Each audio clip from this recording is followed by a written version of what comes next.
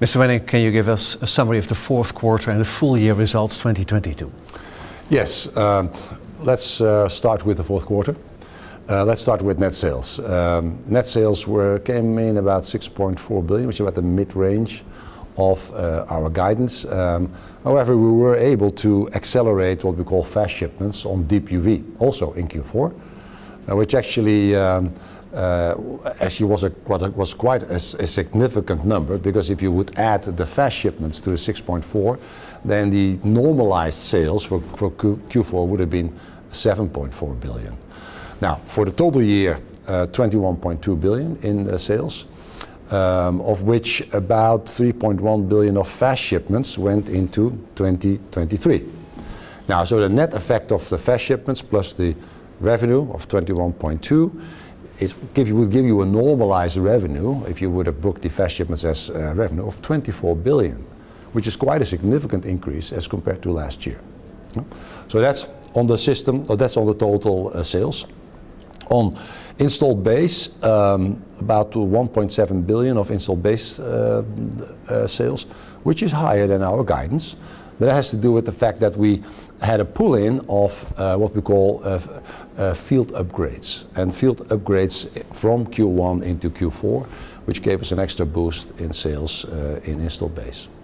Now, on the gross margin. The gross margin, good gross margin number, 51.5% in Q4. That is also the result of the pull-in of these field upgrades because they're high margin. Uh, and we had a one-off, uh, which basically we got an um, a um, uh, insurance a settlement on the Berlin fire, which happened last year. So that was a one-off. Um, so for the total year, um, 50.5% gross margin, pretty good. Net income, because that's the result of the gross margin and all the cost, 1.8 billion in Q4, and 5.6 billion for the year.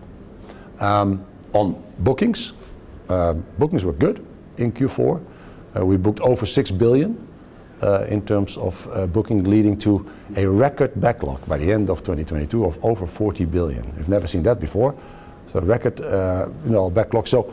When you peel it off and you look at the year and you look at the quarter, then actually it was quite a good year, good performance, and there's some challenging circumstances. Can you provide your initial outlook for this year, 2023? Yes. Like I said, uh, some challenging circumstances that we're currently facing. I mean, uh, clearly there's a fear of recession, um, that's driven by high inflation, high interest rates, uh, geopolitical confrontations, discussions about export controls. Um, on top of that, we see a weaker demand for consumer-related products such as smartphones and PCs. Uh, we see some lower growth rates in the data center uh, domain, but strong demand and still in the industrial space, uh, for instance, automotive. So all in all, if you look at the situation today, it's not a surprise that our customers are currently seeing inventories rise, eh, because we see a lower demand in some of these areas, so inventory for chips are going up. And what's then the natural reaction, what customers are doing to to actually swiftly turn that, is to reduce the utilization of the machines uh, in the installed base. This is what we're seeing. We're seeing that the the utilization rates of our tools is going down. Our customers are swiftly adapting uh, their output uh, to reduce inventory. And by doing that, they hope and they expect that the industry will then recover in the second half of the year. Now, that's being helped, potentially helped also by the recovery of the Chinese economy coming out of the COVID crisis. You know, uh, this is a expectation that the industrial activity, and thereby semiconductors, will actually uh, go up again in the second half of the year. So, all in all, customers are expecting a better second half of 2023. What does it mean to us? Basically, um, the situation for us is that the demand that we're currently seeing because of this is still much higher than what we can make. So why are we not affected then? Well, it's a very simple conclusion, that the expectation of the duration of a potential recession in the minds of our customers is much shorter than the average lead time of our machines. Because they want to prepare, because of the strategic nature of our uh, uh, machines for an upturn in the second half of the year in 2024. That means that the demand is still higher than what we can make. And that means that our plan is still to produce 60 EUV systems this year and 375 DUV systems, about 25% immersion of that 375, which actually means that we will see a significant uh, step up uh, in the 2023 uh, uh, sales numbers. And if you split it out yeah, in, in, in over the different uh, business sectors, then you'll see that EUV business will probably grow about 40%. The non-EUV business about 30%. Installed base business will see some lower growth rates. It's logical. The utilization rates in the factories first half of this year will be down, so not a lot of field upgrades. It's about 5%. Now, when you add it all up, we think that 2023 could give us an increase in sales of more than 25% over 2022, which is a significant step up from where we are today, which is under the circumstances a pretty good foresight. What's your guidance for this quarter, Q1? Well, on Q1, eh, basically Q1 is also a, a reflection of a very strong Q4. And what I mean with this is that we expect sales between 6.1 and 6.5 billion, about 1.5 billion of installed base sales. But like I said earlier, there has been a, you could say, an acceleration of DUV shipments from in Q4. They come from Q1. Uh, it's the same is true for uh, uh field upgrades. So from uh, Q1 2023 into Q4. So that is why um, we, we, we, we see this, this sales number not significantly higher than uh, the fourth quarter. However, because we do see more than 25% increase for the total year, you, you could expect a growing quarterly sales numbers throughout this year. Um, from a margin point of view in Q1, between 49 to 50 percent, that's basically the, the reflection of lower installed uh, base uh, business, basically because of the upgrades, which is high margin business. What are your expectations for your gross margin for the full year 23? Uh, yes, I mean, uh, we, we saw 50.5% for the total year 2022. Now, there's a couple of building blocks for the gross margin in uh, 2023. Um, the first one is the volume, the higher volume. You know, we have a higher volume uh, from 23 as compared to 22, which means that in EUV and in deep UV will have a positive impact on the gross margin because of higher volume. Um, on installed base, uh, we see lower growth rates, as we explained, uh, and we see then, I think, a, a, a, lower level of field upgrades, which is high margin uh, business. So that could have a slightly negative effect on the gross margin for this year. Um, inf in inflation is on people's mind. Well, we do believe this year we there will be a kind of a net zero effect because yes, we'll have higher inflation costs, but also we have inflation compensation from customers. Um, and then the last point, uh, we do will see higher cost levels. And it has to do with the build out of the capacity that we need, not only for 23, but for 24 and 25. Uh, and that is the capacity build out in EUV, in DUV, and in high NA. That will lead to higher cost levels. So um, the year will start Q1 gross margin between 49 and 50 percent, but that will gradually increase throughout the year. I would like to add to that that that is in fact on the trajectory towards our gross margin um, that we gave as a guidance for 25 at our Capital Markets Day, which we believe by that time, 2025, will be between 54 and 56 percent, and uh, between 56 and 60 percent by 2030. So we're well on track. You just touched on it, the discussion around export controls, the situation, the geopolitical situation between China and the US. Can you give us an update? Yes, um, I think, you know, you said it's geopolitical. So we're business people, we're not politicians. Yeah?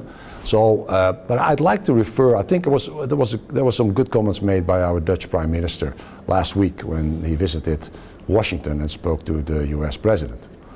And actually, summary of his comments were, you know, this is a multinational uh, uh, question that needs to be answered. it's an issue between several countries, not only the Dutch and the Americans, but several countries.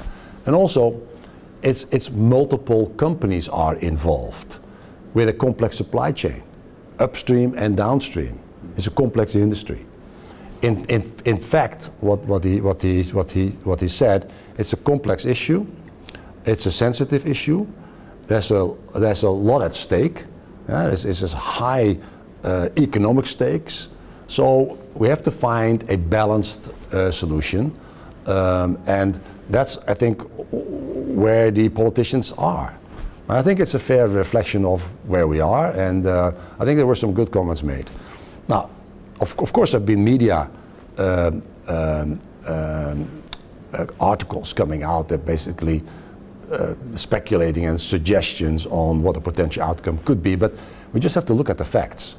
The facts are that nothing really changed since the October regulations that came out of uh, the United States, which actually means that we can we will not ship EUV to China, for instance, but we can still ship deep UV and metrology and inspection tools. And you know, any further speculation on of what might the outcome be is, I think, uh, doesn't help. I mean, we just have to wait for the governments and the politicians to keep talking and come to a, uh, to a reasonable solution. That's where we are today. Can you update us on your capital allocation plans? Yes, um, our capital allocation plans are actually quite consistent. You know, we, we will generate a lot of cash because the company will grow quite substantially. And of course, we will first use our cash to build the business. Yeah? And when we've done that, we'll use the cash to pay a growing dividend. And any other cash left, we'll buy back shares. Now, and on the dividend, um, we'll propose uh, to the general meeting of shareholders a closing dividend uh, of uh, 1 euro 69 cents, which will bring the 2022 dividend to 5 euros and 80 cents. And for Q1, we're going to uh, pay an interim dividend of 1 euro 37 cents. Now that's for the dividend. On share buybacks, we've announced at the Capital Markets Day our 12 billion program uh, for the next three years. And like I said, you know, any excess cash when we've used it for our business and paid the dividend, we'll use for the share buybacks. What are your expectations uh, regarding demand and your business beyond 2023? Well, I think the, the medium to longer term future of the company is, um, is very bright. I mean, it has to, it is driven by the fact that semiconductor applications are growing um, at, a, at, a, at a significantly accelerated speed. Think about the big societal problems, whether it's electrification, the, the, the, the uh, digital revolution, it's the, uh, the energy transition. Everything you touch is semiconductors. And I think um, it's, it's clear, also not the way that we look at the you know, world, but also what analyst firms have looked into, that this industry of our customers, the semiconductor industry, will grow to a trillion, a trillion plus dollars by 2030. That actually means that we need to be able to provide our customers with systems and, and, and with services that will help them to, to make that output. And that's also why, as we said at the Capital Markets Day, we will and we are continuously with our supply chain investing um, for a capacity of uh, 90 EUV systems and 600 deep UV systems by the 2025, 2026 timeframe, and 20 high-NA systems, next generation EUV by 2027, 2028. So if you take it all together, that, uh, and then depending on whether we're in a high market or a low market by 2025, by 2025 we could be anywhere between 30 and 40 billion in sales. And also depending on where, whether we would be in a, in a lower or a higher market by 2030, we think we'll be between 44 and 60 billion sales by that time. So no matter how you look at it, semiconductors are positioned uh, extremely well when it comes to growth and helping some of the large and the big solutions for the big problems that we all face. And I think so we are looking forward to a very bright future. Um, and perhaps, yes, of course, there will be short-term issues that we have to deal with, but mid to long-term, very bright uh, future and very strong growth.